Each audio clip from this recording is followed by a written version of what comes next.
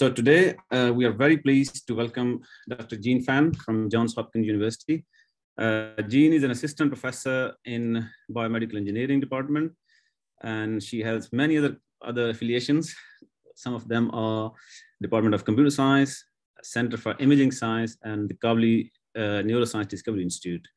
Um, Jean is a computational biologist. She studied uh, biomedical engineering and applied maths at Johns Hopkins. And then she received her PhD in bioinformatics and integrative genomics uh, from Harvard, working with Peter Kharchenko. And she spent few, some more time there as postdoc before starting her own lab in um, back in Johns Hopkins in 2020. Uh, her lab's focus is on developing uh, statistical methods and computational tools for spatial transcriptomics data. And she's going to tell us more about this in her talk today. Um, but I must mention one more thing before handing over to Jean. Um, I saw one of her TED talk titled "Do Art Like Science and Do Science Like Like an Art." So she's, I think, she's doing excellent in both. She has created website a website with illustrated storybooks where children can see themselves in different STEM roles. Uh, so it's in different STEM careers. So this website is called custemized.org. Do explore it. I'm sure many kids are um, getting inspired by her work. As for the second part, doing science like an art is definitely there to see uh, in her excellent methods work, which I've come across recently. Um, so a virtual welcome to Manchester, Jean and thank you very much for making time for our seminar and over to you. Uh, just to add, so I will be monitoring the chat. Please put your questions there. And if I need to, I can interrupt Jean. Hope that's okay. Otherwise, we will be discussing them uh, at the end of the talk. Over to Jean. Thank you very much. Perfect. Yeah, thank you so much, Mudassar. And thanks to you and Carl and Igor for inviting. And uh, thanks to everyone for tuning in. And, you know, I hope you're all staying healthy and doing, uh, doing well. So uh, just a quick uh, shout out to, and thanks to my lab before I get things started. Uh, I think all of the work that I'm about to show you uh, is really a testament to their creativity and uh, intellect and growth, um, but also re resilience, particularly in these continuing challenging times. this is the the one picture that we managed to take together in the very brief moment where you know everyone was vaccinated and the the, the weather was still nice. We were able to go outside. Um, but almost the entirety of my lab has been uh, remote. Uh, and I think my, my lab has managed to, to really demonstrate a lot of um, uh, resilience uh, during these times. And I hope that you know, you'll, you'll enjoy the, the, the work I'm about to share with you.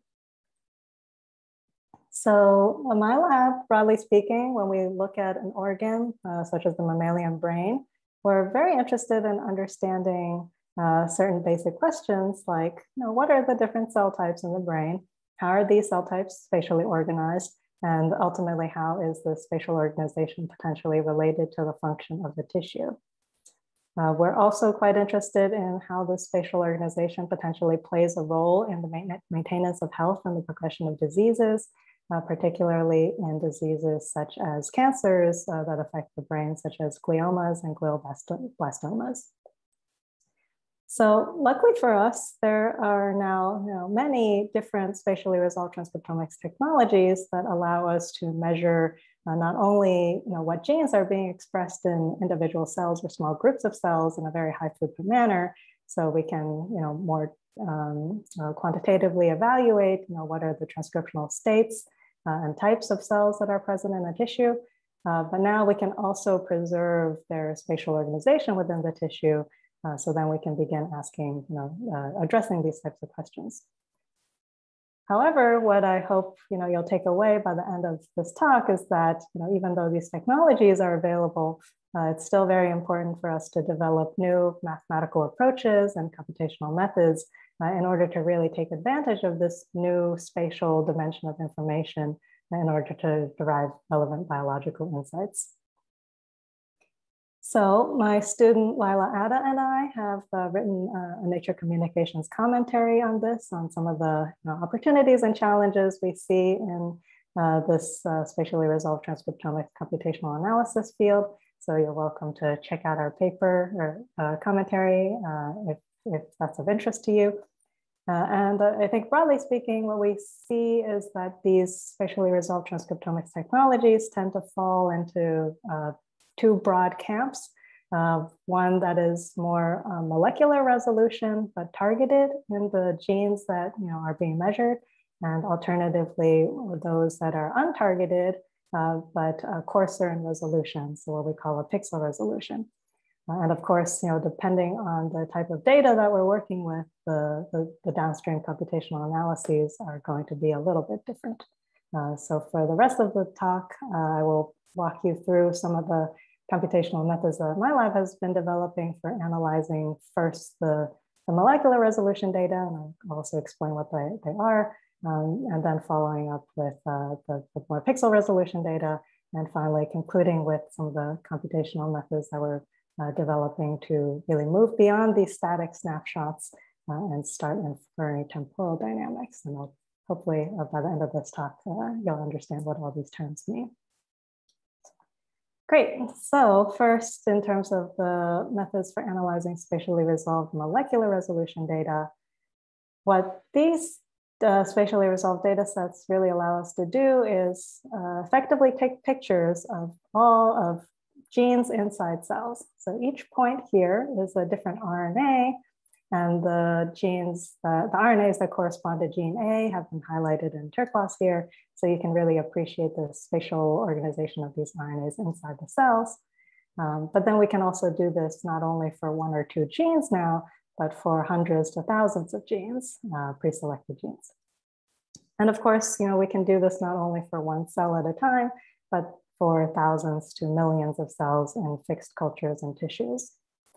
And what this allows us to do is then uh, segment each cell uh, and then actually count how many copies of each gene are in each cell. And that effectively gives us a single cell resolution, spatially resolved transcriptomics for the targeted set of you know, 1,000 or so genes that we're measuring here. So then what we end up with is not only an image of you know, cells in a tissue, here we have a cortical section of the mouse cortex, each point is the cell, uh, but we also are able to uh, quantify uh, how targeted such genes are expressed in this tissue. So, you know, this is a particular gene that is uh, red is high expression, blue is low expression, and you can just begin appreciating how the, the different genes are expressed in a spatially organized manner, in part due to the underlying spatial organization of the cell types. Uh, and we can do this, of course, for hundreds to thousands of different genes. And what this means is that we can further perform you know, dimensionality reduction and other types of non-spatially resolved analyses that we've uh, become familiar with in single cell transcriptomics, such as clustering analysis, so we can you know, cluster these cells based on their transcriptomic profiles and embed that into a UMAP embedding and do you know, clustering, graph-based clustering. Uh, but of course now, because we have the original spatial coordinates of, the, of these cells, we can you know, map the cell type annotations back onto the original tissue coordinates and begin just appreciating how these cell types are spatially organized in the original tissue. Uh, but in addition, you know, one question that we sought out to, to tackle is, you know, are there additional ways we can characterize spatial gene expression heterogeneity within and across cell types and tissues? Uh, and we were particularly interested in developing a method that was uh, um, uh, robust to non-uniform cell densities within tissues. Uh, so we actually, we developed a, an, an approach called meringue uh, which uh, recently came out in Genome Research. So please do check that out if you're interested in learning more. And what Meringue does is actually draw inspiration from geospatial analysis. In particular, there's a statistic called Moran's I uh, that has been used to evaluate whether particular quantities, say uh, income, exhibit significant non-random spatial variation or spatial autocorrelation.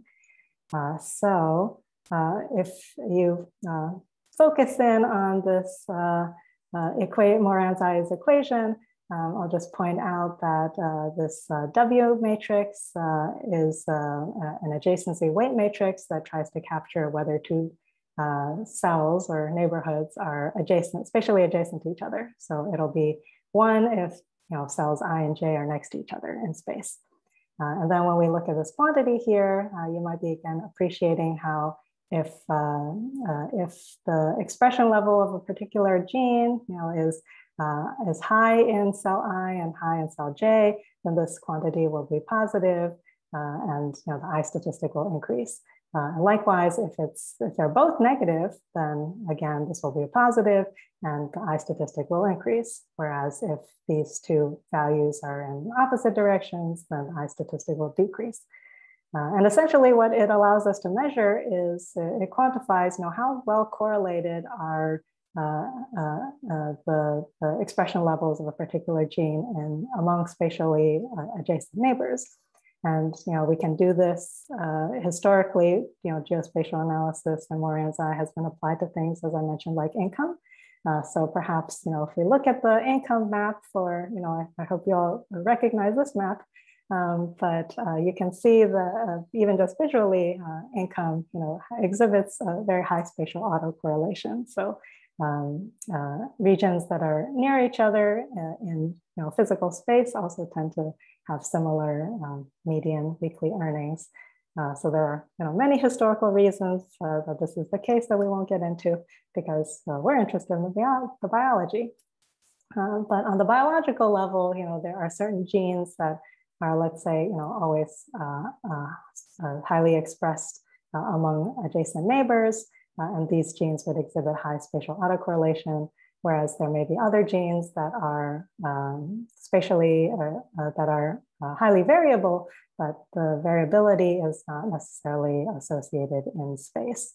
Uh, so we can use Moran's I uh, in this manner to distinguish between genes that are variable uh, in a spatially coordinated manner versus genes that are variable, but perhaps not in a spatially coordinated manner. Oops. see. Great. Then again, because of the flexibility of the way that spatial neighbors can be defined when we compute uh, Moran's I, we can actually easily um, adapt this approach to uh, 2D, 3D, and even multi-section uh, data where we might want to uh, adjust neighbors depending on um, uh, specifically uh, to, to look for spatial autocorrelation across tissue sections as opposed to within sections, for example. Um, so essentially uh, in our paper, we were able to, to further apply Meringue and Moran's I to look for this uh, spatial uh, autocorrelation and identify spatially variable genes uh, within 3D Drosophila, within multi-section breast cancer tissues, um, but then also within cell types. Uh, so we can focus, for example, here, uh, each point is a cell in the hypothalamic preoptic region, and we can look only within inhibitory I6 cells highlighted here uh, in colors. And you can appreciate how, you know, if we look at a gene like GAD1, uh, all the cells uh, that are I6 cells express GAD1, uh, but then there are other cells like McCAB1, which do exhibit uh, spatial autocorrelation and are um, uh, not expressed in all cells and are actually very variable and only uh, highly expressed in the, uh, the cells more towards the top and not the cells towards the bottom. And there are other genes that exhibit different types of spatial, spatial patterns. Um, so we can use uh, Meringue to, to, identify these genes in a very systematic manner and uh, apply to lots of different animals and look for uh, consistencies and so forth. Um, so if we were actually to return to uh, our mouse cortex example, we can focus on, for example, uh, cells within the pyramidal layer here. Uh, if we were to apply meringue, we can indeed identify uh, lots of different genes that express gene expression heterogeneity that are coordinated in a spatial manner. Um, that, uh, as you can see, you know, red is high expression again, blue is low expression again, and uh, these different patterns actually do correspond to different hippocampal subfields uh, which receive different inputs from uh, different regions of the brain. So beyond uh, computing Moran's I, one thing that we thought was fun is that uh, we can actually build on this equation uh, specifically to take advantage of the flexibility of the uh, adjacency weight matrix that I mentioned previously. Um, but sometimes we're also not interested in looking at autocorrelation with one gene, we're interested in cross correlations between pairs of genes. Uh, particularly, we're very interested in pairs of genes that may be indicative of cell-cell communication, uh, such as uh, corresponding receptors and ligands. Uh, so in Meringue, we, we defined a new inter-cell type spatial cross-correlation statistic that um, uh, just intuitively you can think of uh, rather than defining all uh, spatial adjacency neighborship relationships, uh, we focus only on uh, adjacency relationships in space that are between cell type A and B. So we'll only consider neighbors if they're um, between cell types A and B as opposed to within cell types B and within cell types A, for example. Uh, and then we can specifically test for genes that may perhaps you know, be receptors that are highly expressed in cell type A and ligands that are expressed in cell type B and look for whether um, you know, cells in cell type A, when it expresses a receptor, it's always high uh, next to you know, cells of cell type B that express highly the ligand and exhibit this type of spatial cross correlation. Uh, and we can do you know, permutation testing to evaluate the statistical significance of this. So uh, using this approach, uh, we applied it to identify potential uh, cell-cell communication between uh, cells in the mouse cerebellum. Uh, we focused on Purkinje cells, which are highlighted in orange here, and then the green cells are the, the cells that are in the neighbors. Uh, and then we can essentially test for all possible receptor ligand pairs uh, that are expressed, uh, you know, either in e either cell types. Uh, and you know, we tested essentially, you know, using the statistical approach, we can test uh, hundreds of different uh, receptor ligand pairs, um, both you know, in one cell type or another. Um, and what we end up with, what we found is actually only one significant hit, uh, where uh, we found uh, that this expression of this particular protein tyrosine kinase receptor was highly expressed in the Purkinje cells, and it was spatially cross-correlated with neighboring cells that expressed this secreted growth factor pleiotrophin. Uh, and actually, you know, this, this turns out to be a, a known interaction between Purkinje cells and, um, and uh, Bergmann's glia fibers uh, in the uh, developing cerebellum. Uh, so um, we believe that this has allowed our statistical approach is essentially allowing us to recapitulate some known biology, which is very cool. But of course, we can, uh, you know, having demonstrated that our approach is able to recapitulate known biology, we, we're always interested in applying them to discover new things. Uh, so we collaborated with uh, Toshi Hara and Mario Suva's lab uh, to apply some of these uh, statistical approaches and uh, spatially resolved transcriptomics methods to characterize the spatial organization of transcriptionally distinct cancer subpopulations in glioblastoma. So Mario's group previously identified uh, used single cell RNA sequencing to characterize four different subtypes of glioblastoma cells, uh, characterized by you know, different uh, overexpressions of uh, different types of markers. Um, and but one question that we had is just, you know, how are these subpopulations spatially organized within the glioblastoma tumor itself? Uh, so we applied uh, one particular spatially resolved transcriptomic technology called MERFISH to characterize different slices of uh, GBM uh, biopsy samples. Uh, and, uh, and what we were able to do is, of course, then, you know, again, do clustering analysis to identify the different GBM subtypes uh, but then also other, uh, other cell types within the tumor microenvironment. But of course, now being that we have a spatially resolved transcriptomic profiling method, we can actually look to see how these uh, different subpopulations we identified are organized within uh, the, the, cancer, uh, within the tumor. And we can essentially begin asking questions like, uh, oh, if we live, if we look within the spatial neighbors of uh, the mesenchymal subtype of GBM cells, uh, do we find more, you know, uh, T cells than we expect by chance, or more of this one cell type or another, and iterate through all possible pairs? And what we end up finding is that uh, actually, when we look within the neighbors of the mesenchymal GBM cells, we find a, a, a um, an enrichment of macrophages uh, among their spatial neighbors. Uh, and, and, in contrast, we find a depletion, um, or, or, we, we don't find that same enrichment in, uh, for example, oligodendrocytes or other, um, other cell types in the tumor microenvironment. Uh, so there seems to be a, a particular enrichment of macrophages. And uh, that's where you know Toshi and others in Mario's group were able to do a lot of amazing additional functional validation uh, to show that indeed uh, the, the macrophages are, uh, the, the spatial organization you know, isn't uh, random. It's not just macrophages are there by chance, but they actually are interacting with GBM cells through this particular OSM, OSMR signaling pathway and uh, in that manner, um, um, driving GBM cells into a more mesenchymal-like subtype.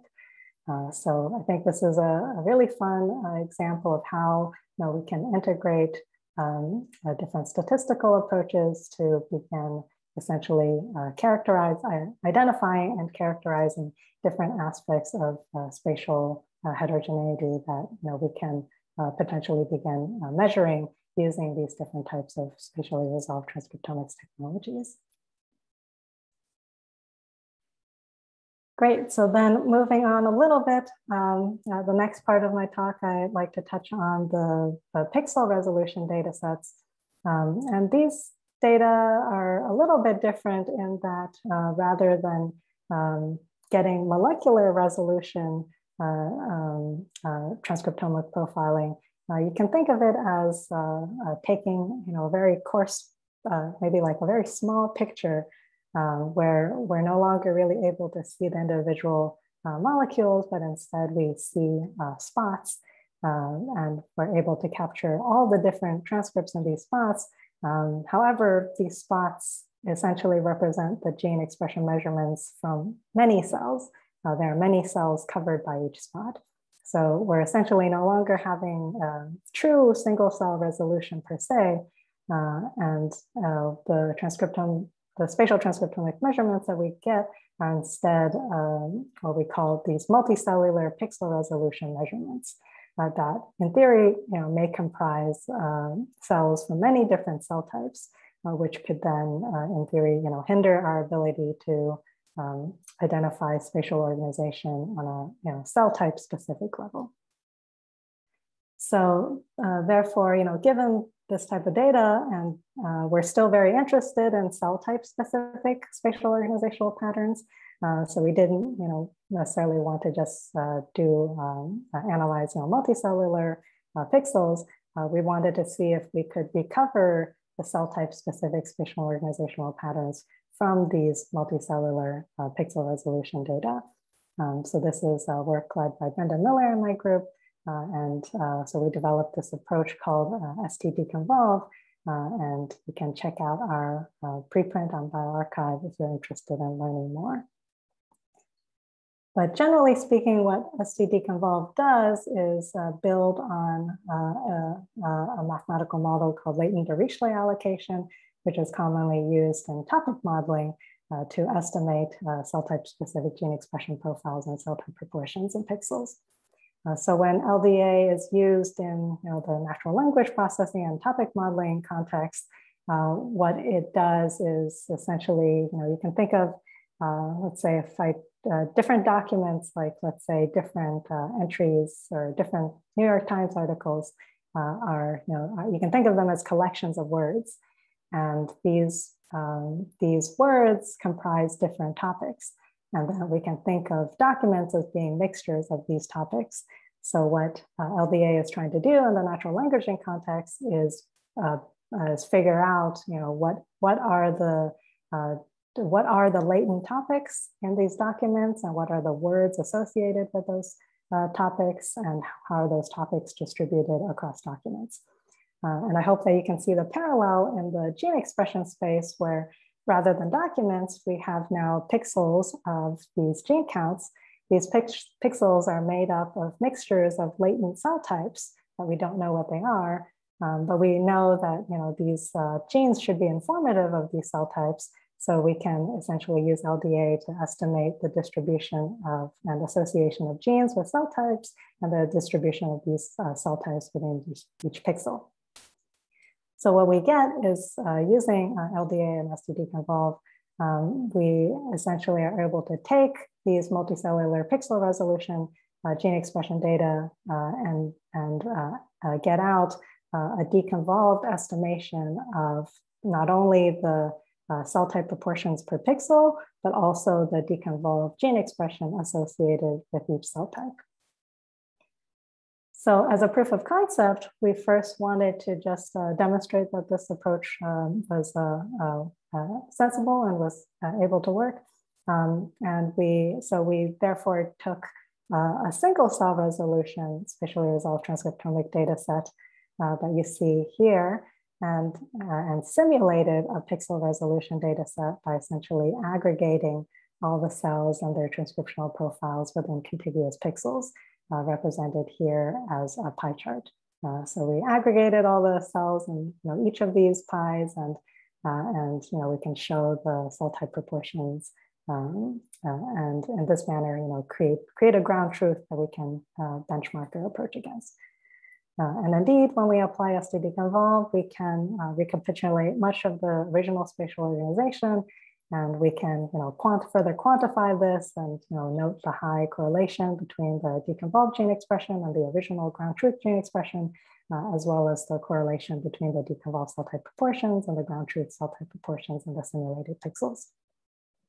So, uh, you know, we can show that our approach is able to do pretty well, um, but then we can also further apply it to lots of different uh, technologies um, uh, for um, these different types of spatially resolved transcriptomic pixel resolution data sets with you know, pixels at different resolutions and show that we can identify um, different structures that we know to be biologically relevant and uh, consistent with known biology.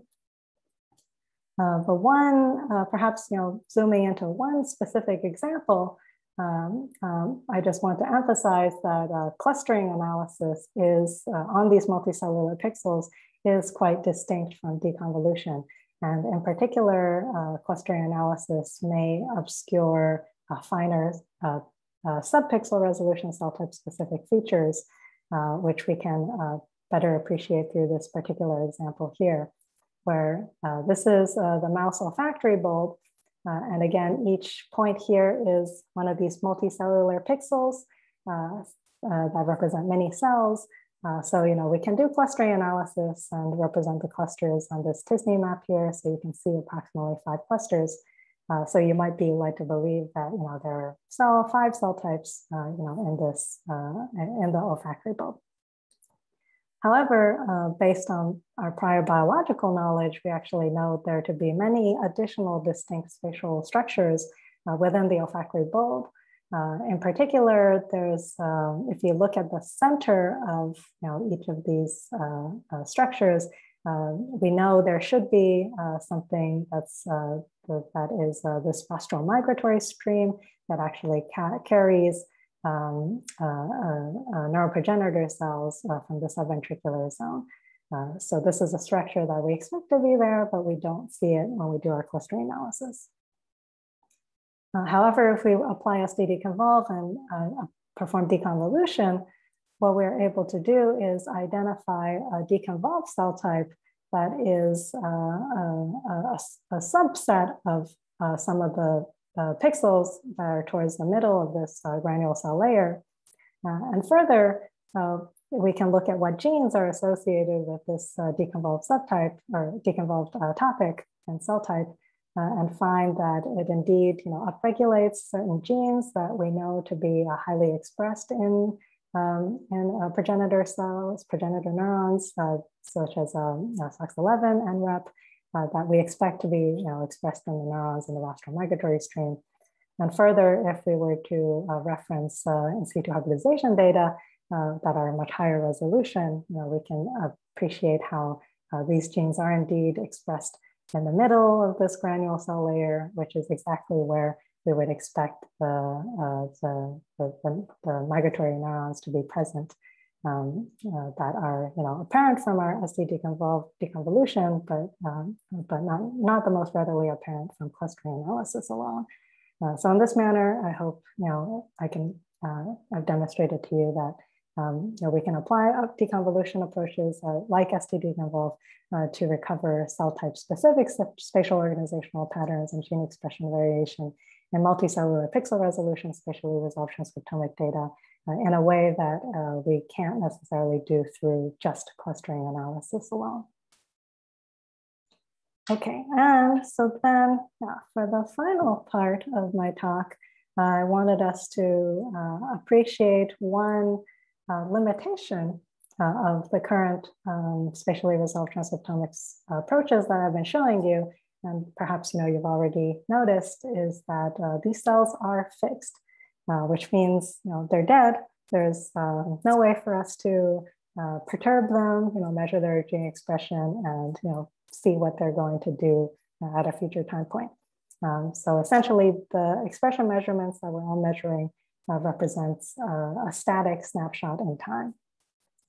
Uh, however, just because they represent a static snapshot in time, it doesn't mean that you know, all dynamic information is lost. And you know, perhaps we can appreciate that uh, using you know, this simple example here, where you know, even though we have this static snapshot of friends jumping off the cliff, uh, you know, I think we're all smart enough to uh, infer based on this one single static snapshot that you know there must be some pseudo-temporal ordering to when these friends jumped off the cliff. Um, know, one of these people must have jumped off before the other. Uh, and you know, if you were an alien and you didn't know anything about uh, gravity, you know, perhaps I would have to tell you that on Earth, you know, gravity goes down and you know, given this uh, this information that gravity goes down, uh, now that uh, now you can tell me uh, not only what is the pseudotemporal ordering, but provide a direction to that pseudotemporal ordering. Uh, so essentially, it's the continuum of states, uh, in this case, positional states along a dynamic process, such as falling off a cliff, that can be used to infer how these positions change over time.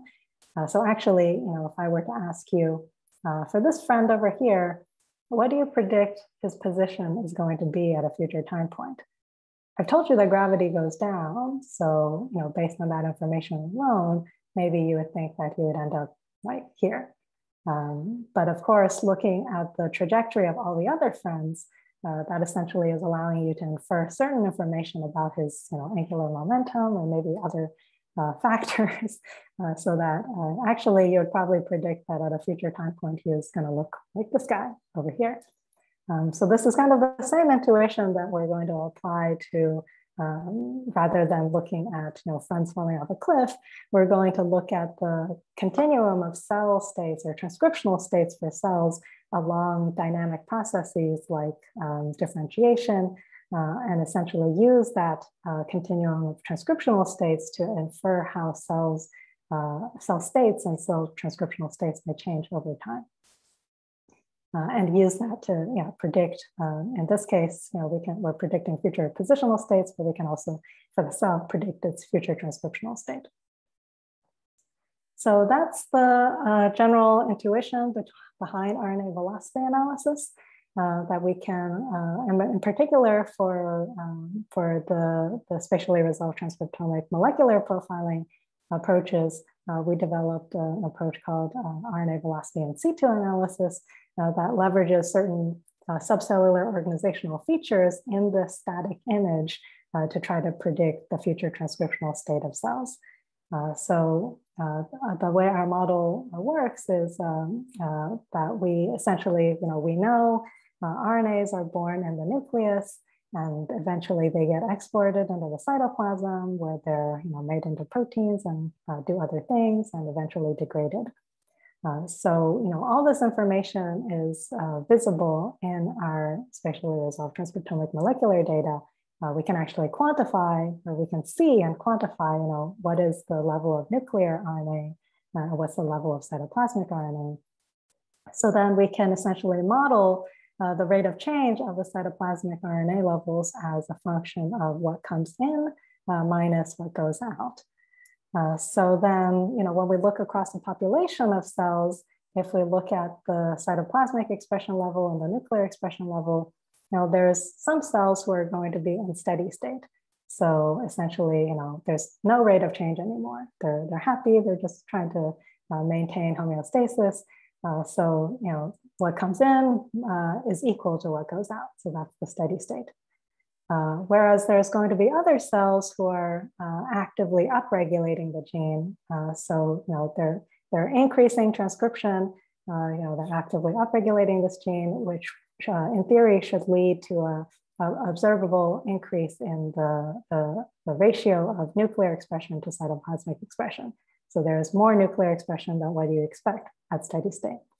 Uh, and in contrast, you know, if, it, if a cell is downregulating this gene, you know, they're not actively transcribing as much, uh, they're just letting the gene degrade.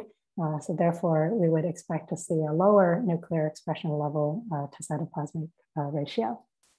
Uh, and indeed, you know, if we look at some real data, this is what we see. each point here is a single cell, and you know, these are the expression levels of two genes.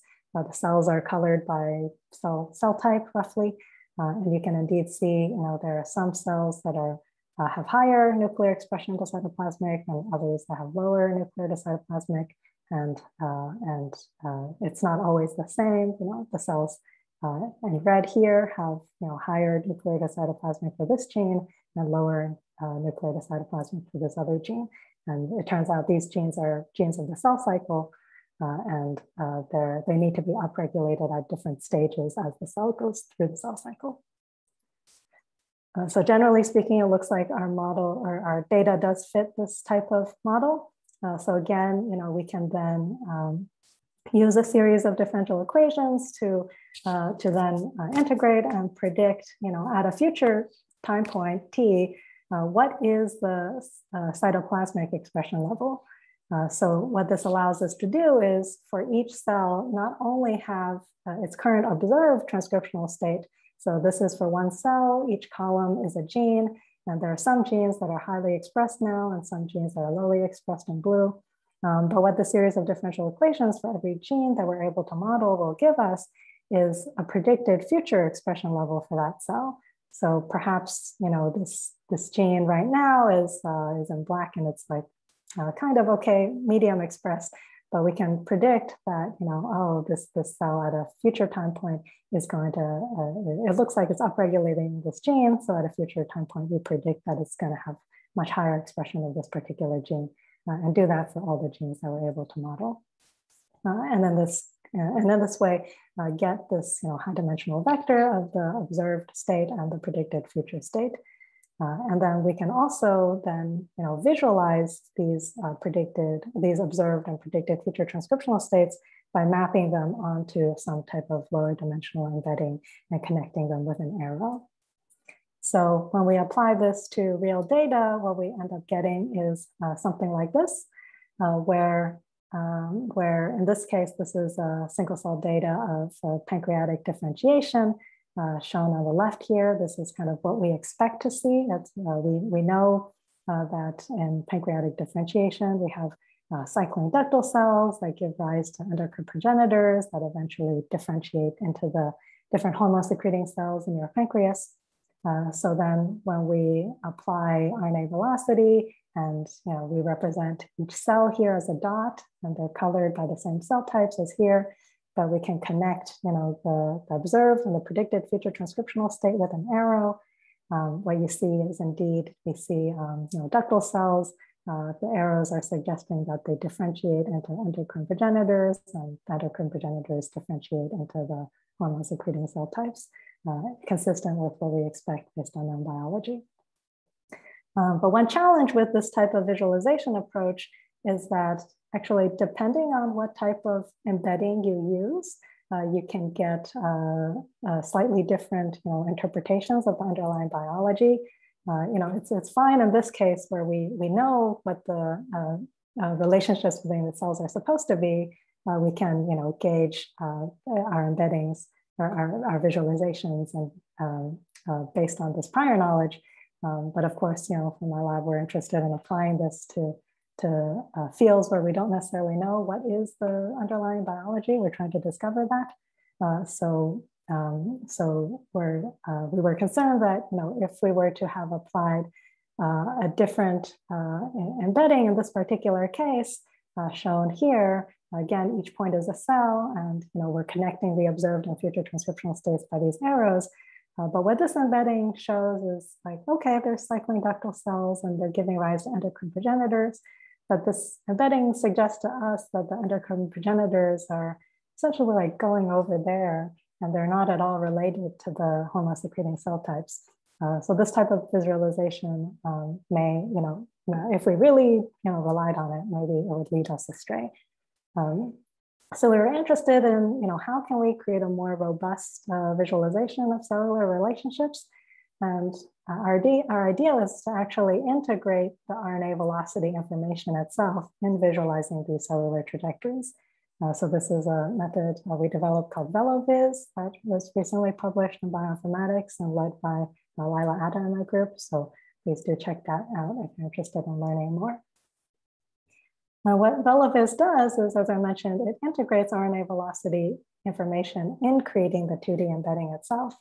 Uh, so we, we essentially obtain both the observed and predicted future transcriptional states uh, from RNA velocity modeling. Uh, and we, uh, we compute a, um, a graph where we essentially uh, evaluate for every cell, you know, is its uh, who, it, who does it look more like uh, based on not only on its, its observed transcriptional state, but also its predicted future transcriptional state. So the idea is that if cell A is moving in, in this high dimensional space uh, towards uh, cell B, you know, at a future time point, we predict that it's going to look more like cell B. We're going to, um, uh, you know, draw an edge between cell A and cell B. Uh, whereas in contrast, you know, perhaps cell A right now looks like cell C, but it's actually moving in a direction that's uh, different from where cell C is going. So we would not draw uh, uh, an edge between cell A and cell C, um, taking into consideration this future transcriptional state. So, you know, we're able to do this for all cell pairs, uh, and there's some, you know, additional pruning that we do, but what we end up with is this higher dimensional graph that relates every cell with um, with other cells based on their, um, not their observed and predicted future transcriptional states. Uh, and then we can visualize this graph using you know, different types of um, graph embedding approaches. So applying this uh, approach to, again, our pancreatic differentiation data set, uh, what we now with VeloViz are able to get is, um, again, we see the cycling ductal cells uh, that differentiate into the endocrine progenitors. Uh, but now, because we are taking into consideration this predicted future transcriptional state, um, our, our graph structure is able to know that uh, the cells that are uh, at the endocrine progenitor stage, their future transcriptional state looks kind of like the hormone secreting cells uh, and are able to essentially uh, ensure that our embedding connects those two populations uh, so that we're able to better make the connection that indeed endocrine progenitors are going to eventually differentiate into cells that uh, give rise to the hormone secreting cells of the pancreas uh, in a way that uh, other embeddings such as uh, UMAP and t-SNE and, uh, and other approaches that uh, focus more on preserving local cell-cell relationships um, without you know, any knowledge of potential future transcriptional states, essentially they're not able to make that connection uh, and, uh, and uh, may give rise to um, uh, uh, uh visualizations that are not the most consistent with the underlying biology. Yeah, so I hope with that, I've been able to show you how RNA velocity can predict the future transcriptional state of cells, and we can use uh, approaches like VeloViz to take advantage of this type of prediction and actually uh, better and more robustly visualize underlying cellular relationships and dynamic processes. Okay, so uh, just as a you know summary of uh, everything I've shown here today, I hope I've been able to um, uh, um, yeah show you that uh, that I think uh, new mathematical models and computational approaches are still needed to take advantage of this uh, new exciting um, field of you know spatially resolved transcriptomics data sets, particularly in deriving you know, new biological insights.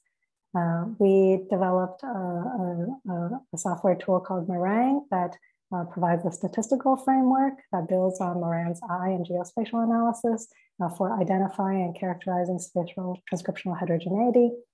Uh, we also developed uh, STDeconvolve to uh, help recover uh, cell type specific spatial organizational patterns and gene expression variation in these multicellular pixel resolution spatial data sets. And uh, finally, uh, RNA velocity analysis can help predict some of the future, you know, these future transcriptional states of cells from these static snapshots that we're getting. And we can use VeloViz to then take advantage of these predictions to better visualize cellular relationships. Uh, and I think moving forward, it's uh, there's a lot of opportunity not only in bringing in more mathematical modeling and computational uh, methods development, uh, again, to, to take advantage of this new spatial information to make new biological discoveries, uh, but then of course, you know, also applying these tools to, um, particularly to disease systems uh, so that, you know, we can um, uh, begin, you know, better understanding of the, the potential uh, um, yeah, biological, uh, the, the spatial organizational differences between uh, health and disease, I think is, is of great interest to my group. So then, yeah, if you're interested in trying out some of our software, um, please feel free to check out our lab website. Uh, we have lots of, uh, all, this, all the tools that I mentioned are available as R packages that you can install. And uh, we have lots of different tutorials for you to play around with some of the built-in data sets, you know, before you apply to your own data set and so forth. Um, so please check out our websites uh, for more information. Uh, and with that, uh, I'd just like to thank again all my lab members for contributing to this work, uh, in particular Brendan Miller uh, uh, and Lyla Atta, who led the, project, the projects, but everyone really contributed. and of course, our funding sources, NSF, HuBMAP, and the NIGMS, and at the NIH. And of course, um, thank you all for tuning in. And uh, if you are interested in keeping in touch, you know, you're welcome to you know, reach out to me via email uh, or feel free to visit our lab website. And uh, once in a blue moon, you can probably find me on Twitter. Um, so thanks again. Thanks again. And um, if there are any questions, uh, yeah, I'd be happy to address them now. Thank you, Jean.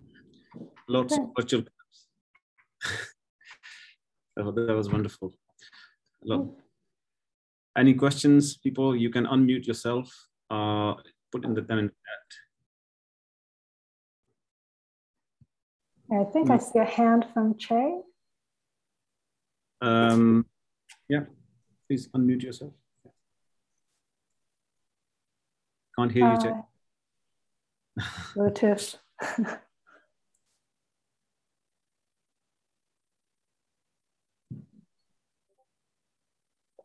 Still not. Okay, typing now. Okay, it's fine. Uh, I'll ask the first one then, and I'll wait for you.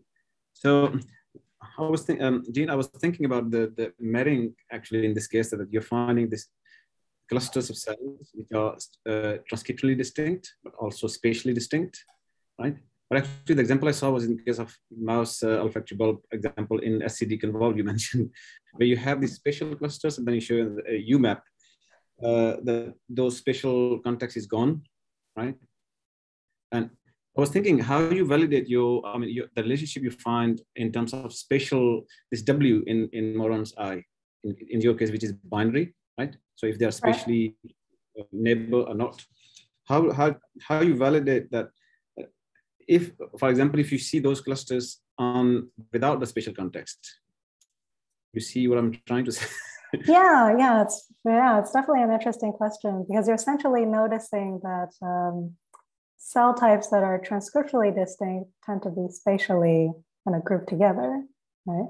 Yeah. So even without the spatial information, we can identify the the yeah, we can identify cell types in the olfactory bulb because they're so transcriptionally distinct, and yet they're also spatially organized in this very layer-like uh, pattern. Yeah. So what if you if you find this uh, with Meringue, you find this, this spatially variable genes which are defining clusters, right? So you're mm -hmm. defining your clusters, and then you basically throw away the spatial information. And how how how uh, not really throw how you how they look like on a on a on a PCA or in, um, in for example. Ah, so essentially, yeah. Given that in the olfactory bulb, um, spatial organization, uh, cell types are so spatially organized, you'd essentially be able to, you'd expect to be able to, I guess if you identify all the spatially variable genes, you would essentially recapitulate the cell types. Uh, is that is that an accurate representation of your question? Yeah, because you have the same cell types in two different spatial locations, right? Uh, let's see. Yeah, I think uh, yeah you have. I think all, yeah all the well yeah you, you do have um, yeah there's this uh, bilateral symmetry so you would get the same cell types in different spatial uh, yeah mirroring uh, in space. Um, yeah, but I think it it does get to you know what uh, what independent information perhaps does spatial variation offer you if uh, the cell types are spatially organized. And I think, yeah, I think for the purposes of method validation, uh, I do agree that you know, if you identify, given that cell types are spatially organized, we'd expect to identify uh, spatially variable genes that are consistent with differentially expressed genes between cell types. Um, however, I think there are, are additional spatially variable genes within cell types and across cell types that are actually very interesting, uh, especially if they're shared across cell types. Uh, so there are you know, different um, yeah, chemokine gradients and other types of gradients that are potentially, um, uh, yeah, they're they're spatially variable, but they're not spatially variable in a way that's unique to one cell type. They're actually across many cell types. And I think, um, yeah, so I think in that sense, you know, moving forward, I do think it's important to use both clustering analysis and spatial analysis to see, you know, what is the intersection there and what is independent. And I think that that could lead to some very interesting insights.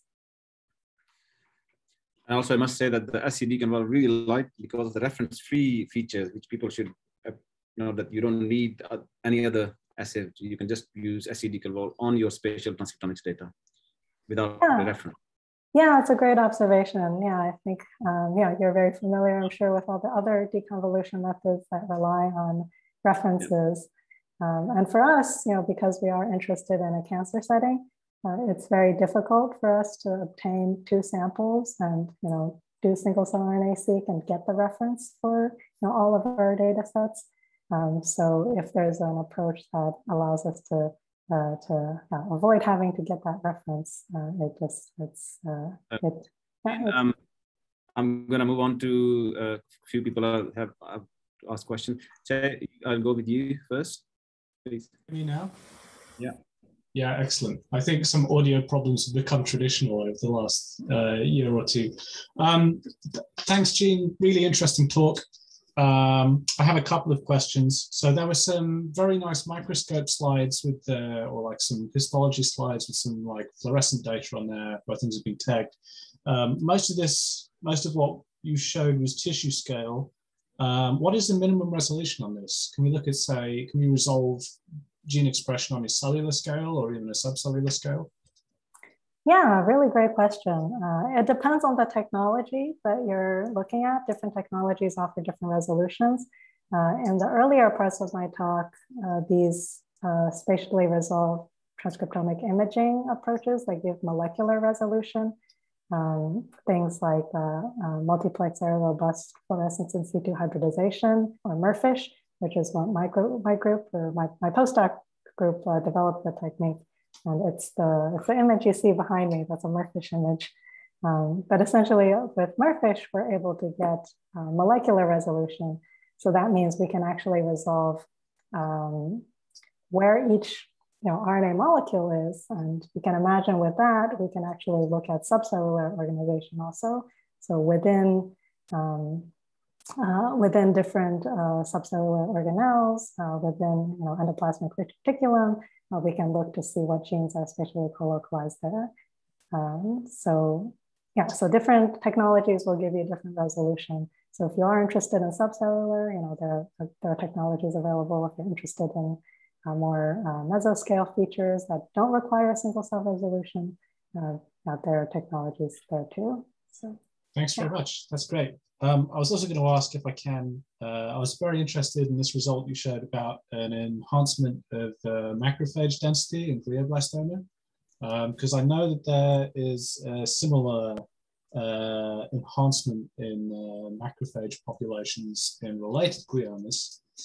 Um, and I wanted to know uh, roughly what proportion of cells does your result correspond to? Like, is like 10% of all the cells in the tumor or like 50% of all the cells in the tumor or? Hmm.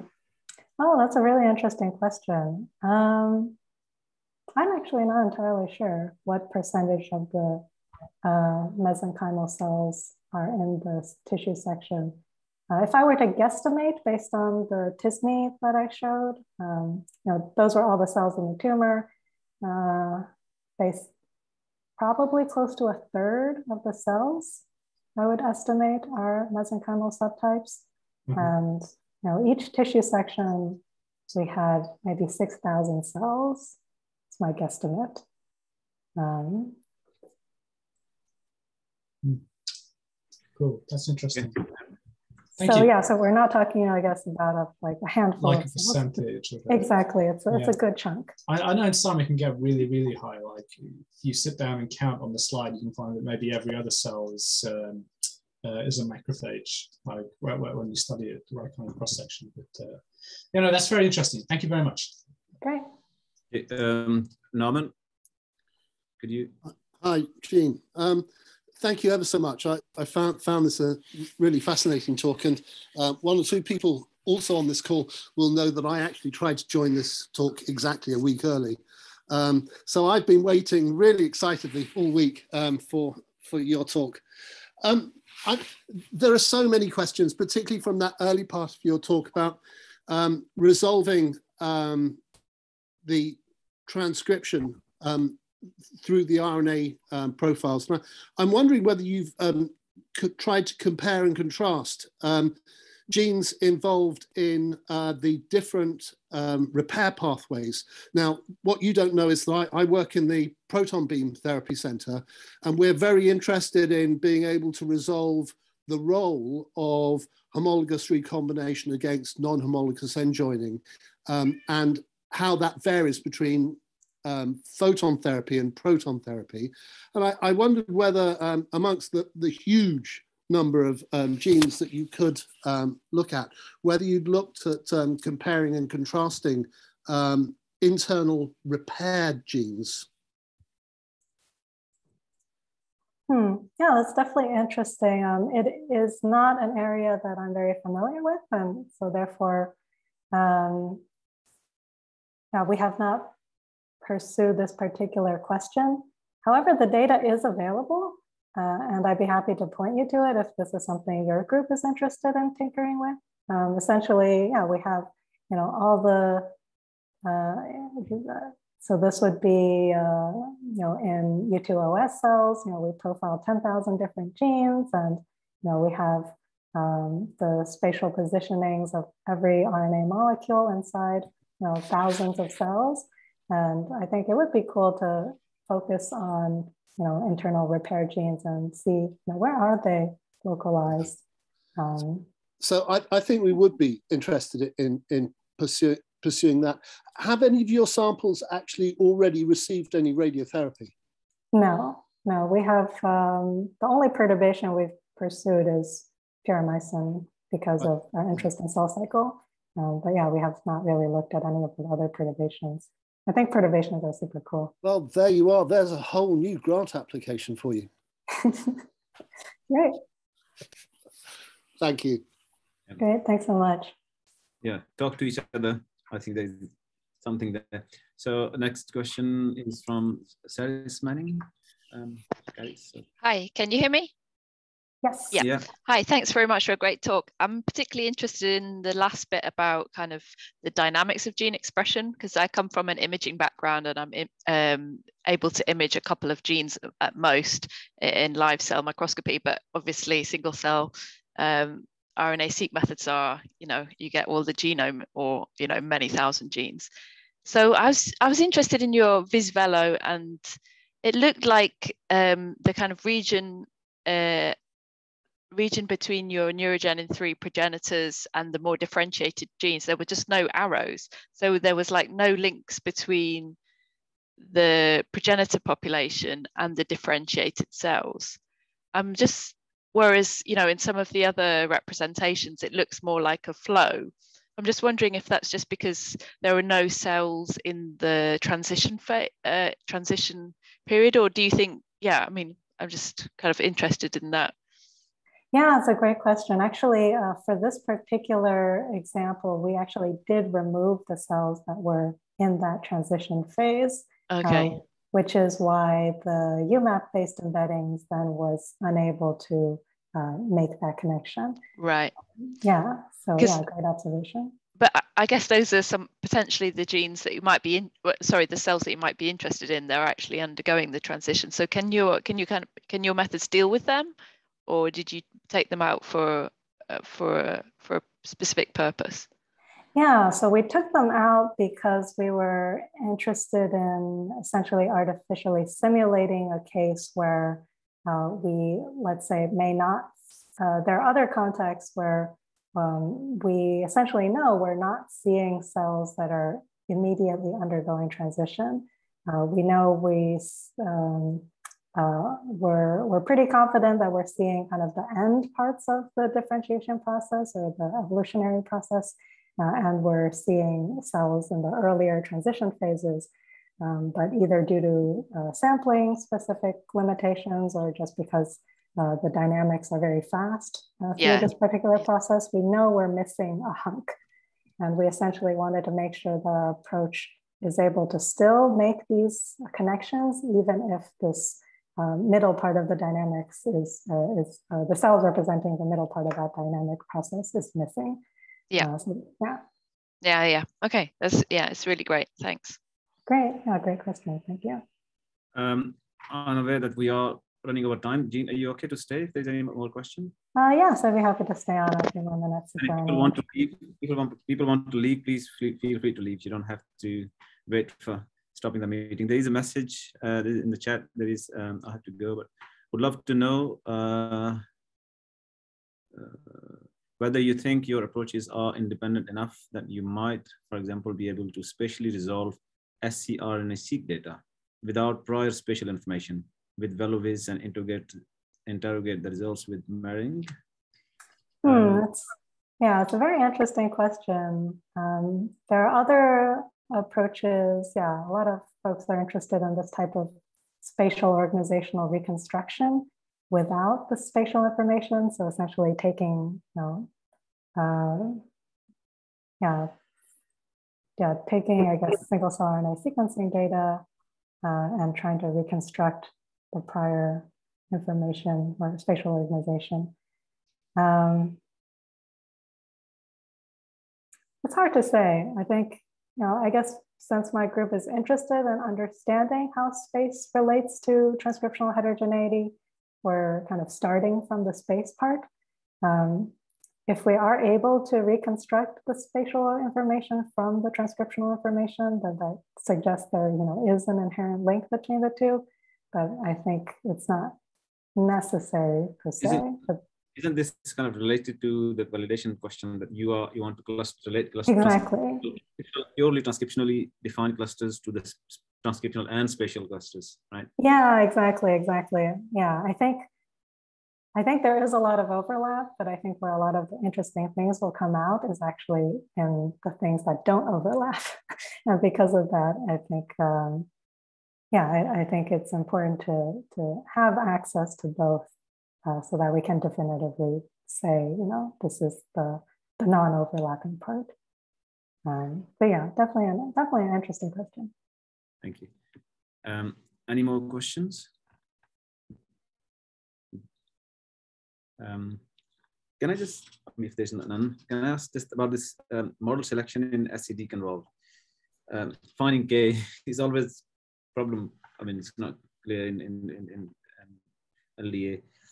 So I know you deal with the quite different ways, but I, I find that you have a pixel space, you have a K which is independent of pixel pixels. It's across, K same across all pixels, right? Right, it's across all pixels. Um, all, all document.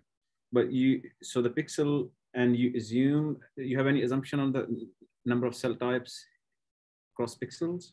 Yeah. Um, they're not evenly distributed, or even the number of cells probably. So the cell density. Uh, yeah, yeah, that's a great point. Yeah, we do assume that the cell types are not evenly distributed across pixels. Um, that I think it's a reasonable assumption when we're looking at real tissues that, that have spatial organization that, you know, some cell types will be uh, denser and uh, will be higher proportion in some pixels than others.